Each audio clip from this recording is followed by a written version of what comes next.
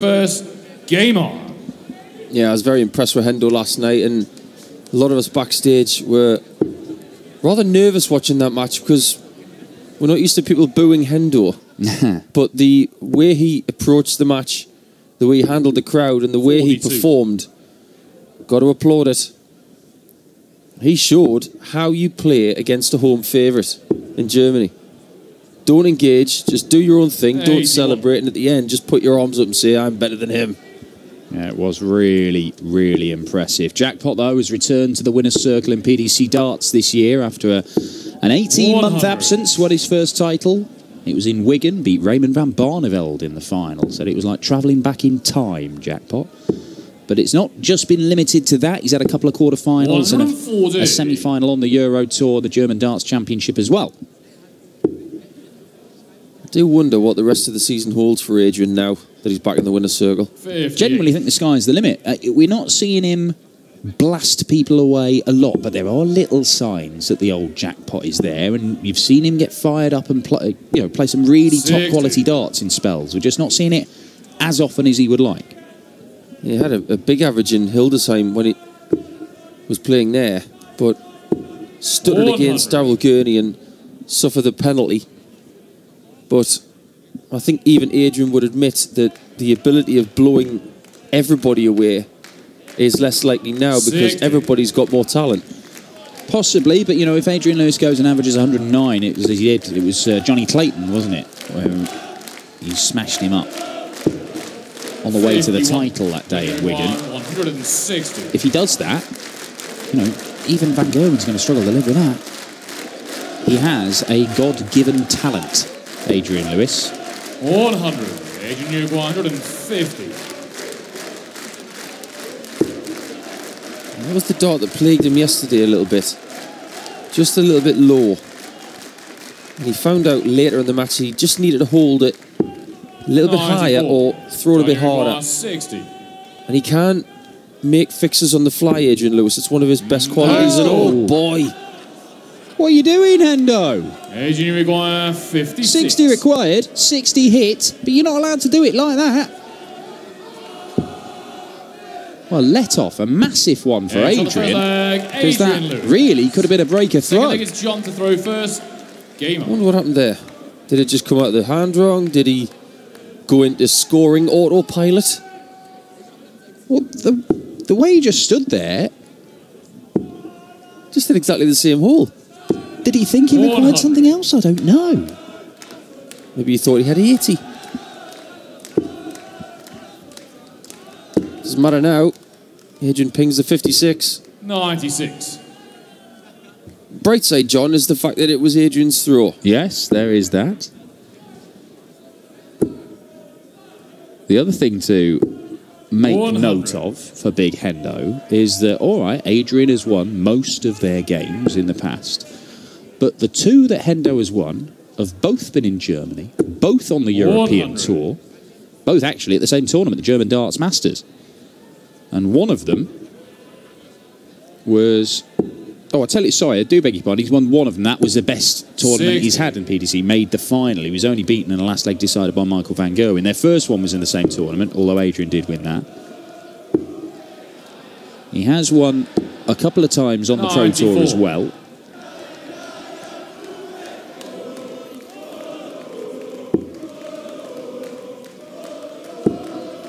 So he's beaten him on the floor. He's beaten him on the stage. He knows what it takes. You can see from that side cam just how still Adrian is trying to be when he throws. That little glance to the left 137. didn't disrupt his rhythm. John Newell 140. A bit like a basketball player dribbling but doesn't have to look at the ball. John's a little bit different. He's always on the move. Yeah, there's a, a lot of moving parts with Hendo. Adrian Newell 74. Making him work in that visit. Leaves himself tops. Going to be 20 for tops here. Not moving 34. and unable to go over the top of that previous dart. Oh, well, we know Hendo likes tops. This is where he finished the match last night. On a 160.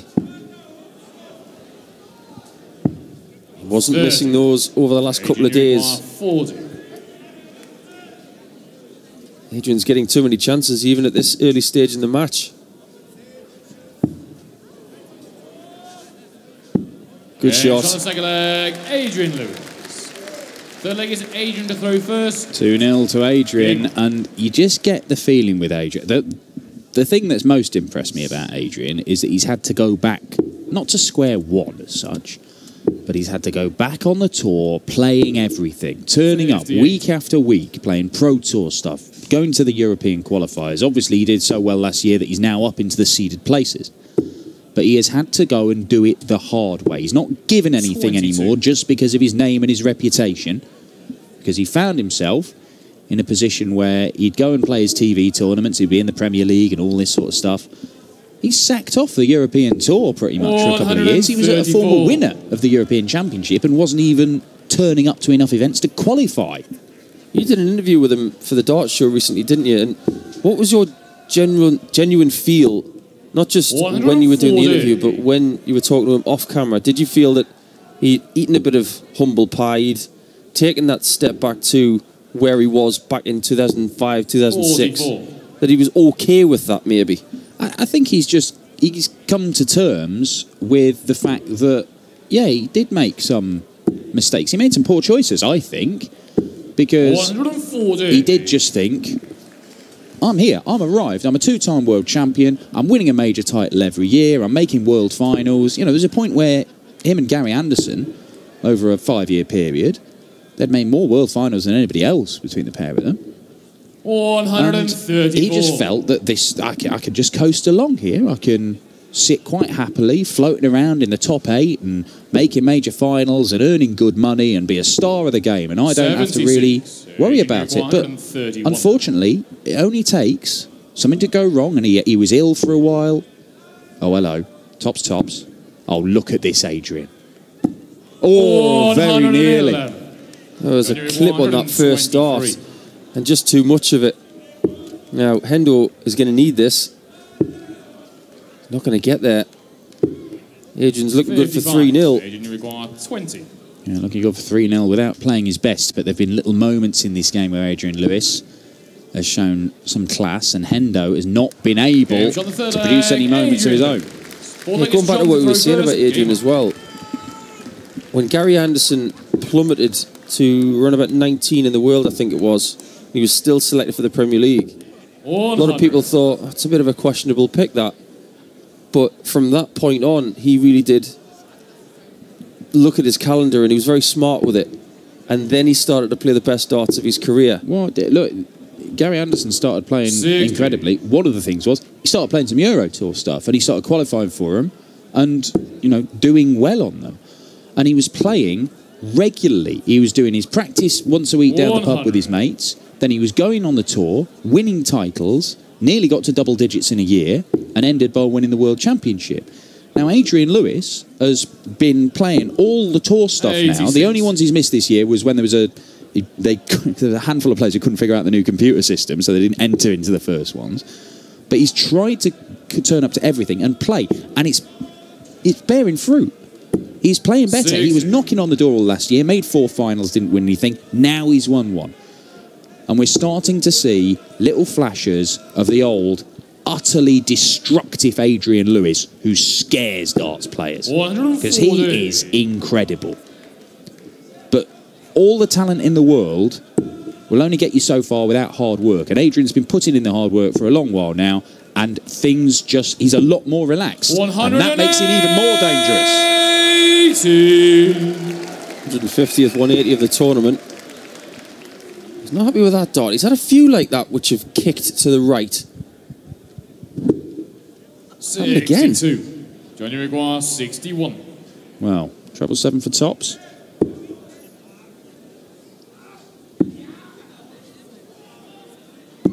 Yeah, I was going to Hendo say, surely that's going in. And a wry look from Hendo.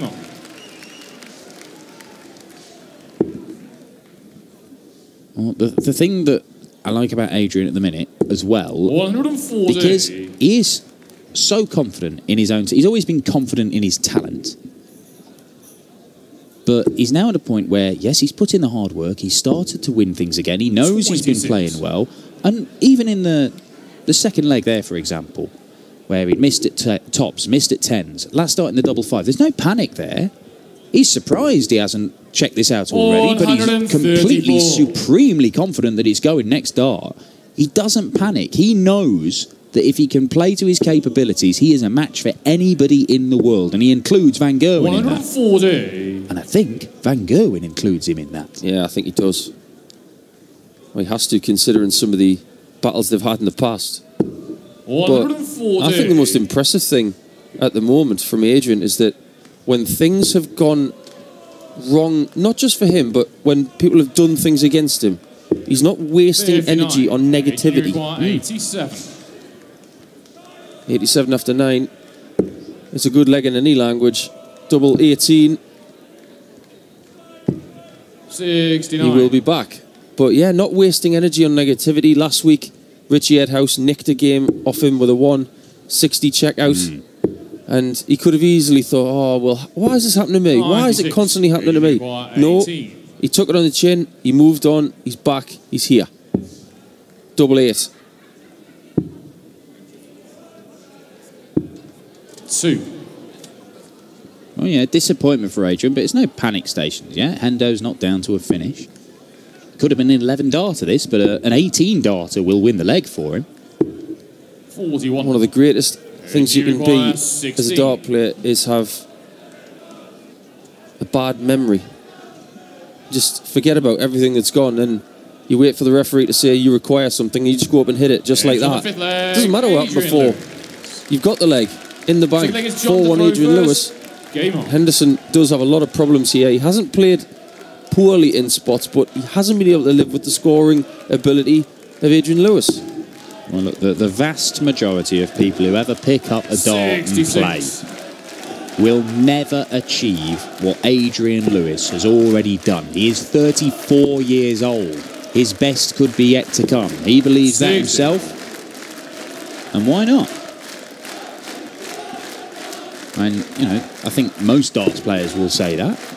So, you know, John Henderson himself has said that he's probably playing better than he's ever played over the last couple of years. How And, many, how many countries has Adrian won a tournament in, in the PDC now? 'Cause he's won in New Zealand, yeah, won the Auckland Darts Masters in that mad final with Barney. definitely won in Scotland and England. Yeah, he's won in Germany, he's won in Austria, Ireland, he's. Where else has he won? Never won in Vegas, did he? No, he didn't. Which is a shame considering his nickname. Yes, exactly. And the backstory. He got. He didn't win, but he did get the nickname in Vegas. Probably rather of the money. 96. He's won in Germany multiple times, of course, because as a multiple World Cup of Darts winner, he and Phil Taylor have picked up the title. Won that on four occasions 2012, 2013, 2015, and 2016. Still the possibility that we might see Hendo in the World Yeah. Cup. There is, although Gary Anderson is playing midweek, I understand, in Yeah. Barnsley. So That's, uh, that's big news. to see him. Adrian Lewis has left a bogey number, so Hendo can take this in three or six if he chooses. 84. Going to need another visit.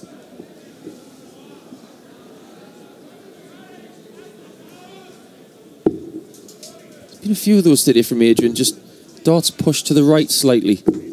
123.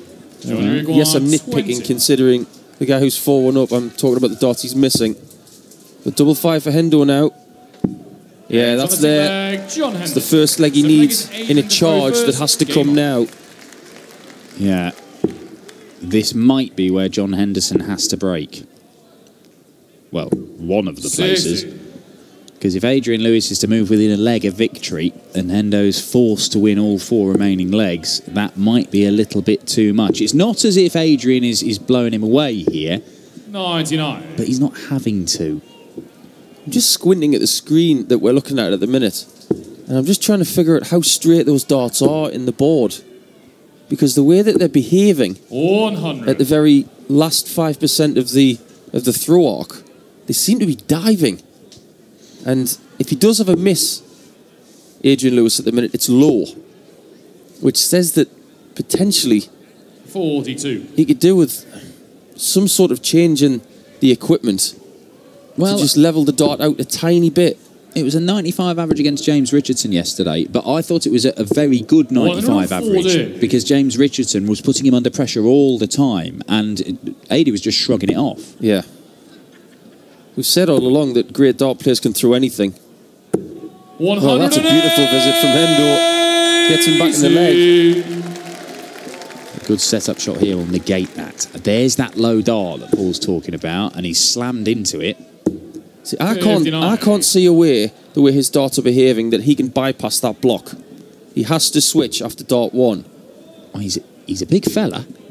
He's almost throwing down into that treble 20, isn't he? But even so, it's not one of those sort of floated darts in like Barney. Yeah. He does throw them. 87. Johnny Maguire, 120. This is a big visit. I remember him taking this out against Kim Huybrechts and Leverkusen a couple of years ago. He needs the 60. Wow. Hendo all weekend, he, he won in the first round with a, a 142 checkout to win. He had a 140 and a 160 against Max Hopp. He's not looked likely so far in this one. Games And he's pushed to the brink of defeat. Lewis. Eighth leg is jumped to throw 5 first. 2 to on. Adrian Lewis. And we've seen big performances so far. Gerwyn Price was, I thought, more impressive than his average suggested. His average of 94 95 in beating Jamie Hughes. Rob Cross, very impressive. His average only at a 101, 102 at the end, but for most of the game it was closer to 110. Here, Hendo's averaging more, but he's never felt like he's really in the game because you look at the finishing stats here. John Henderson has had eight darts at double. Adrian Lewis has had almost twice as many. 100. It's funny when you said Hendo all weekend. It just didn't f- fit. I was waiting for you to say Hendo all, weekendo. Yeah. Well, look, we, we all live in hope that the big Hendo weekend takes place at some point. And the way he's played this year so far, John Henderson, there is a chance he can go and pick up a title. He'll be there in Barnsley midweek, and it might be one that the likes of Van Gerwen skip, and maybe some of the players who are playing in next week's European Tour also decide to give a miss. I think it's confirmed that Van Gerwen's not going to be there as well as Mensur Suljović. So that presents an opportunity to a lot of players who want to get a leg up on their season, including John Henderson.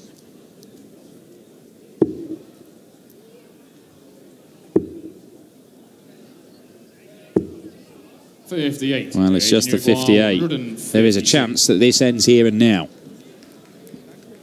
But it's not going to. Hendo's going to have one of the. Again, it's that blocker dart that he smashed into, isn't he? And now he decides to move a little bit left or right. It's or got to be maybe. bull, surely. Sixty-five. It was always going to be the shot with two small 103. 20s.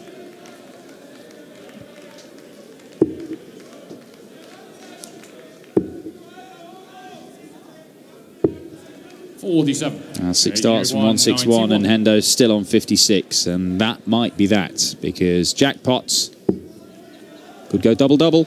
Oh, he thought about it, changed his mind, got the match 75. dart but couldn't pin it. He was Johnny shaking his head on that 56. dart at treble 17. Hendo gets this, we can talk about it. But he needs to hit tops, does Big John. Tens, James on the a good leg, grimace John from the big man. He Nine gets the job done, but that shot at treble 17 was a great example of what I was talking about with that dart. It just seems to dive at the end. I think that maybe that big flight that he's got in sometimes lets the dart hang too much. And because the, the weight of his setup is predominantly to the front, it's got quite a heavy dart. 123. and a big flight at the end. The way he loops this thing, it dives at the end. It has a very upright angle. That's a great dart. But that one dived at the end. he does- 137. He massive mitt. Jackpot does seem to hold it quite far back on the dart compared to say Hendo, who's holding it towards the the nub of the dart near the point. 43. Yeah. But Jackpot does seem to hold it at the back, which you kind of think, there you go. He's got a finger near the front, but a lot of the, the strength of that grip is back towards where the stem is. 82. And it's almost sort of arcing it, looping it in, and you can see the nose sort of dart, which is how you get the darts to stick up like that. Yeah, when John's darts leave his hand, it come the point goes directly out, whereas with Adrian Lewis, the point when it leaves his hand, it climbs Hmm. towards the ceiling, then it corrects itself in the air. It's very similar to what Dave Chisnall does. That's why they're big scorers.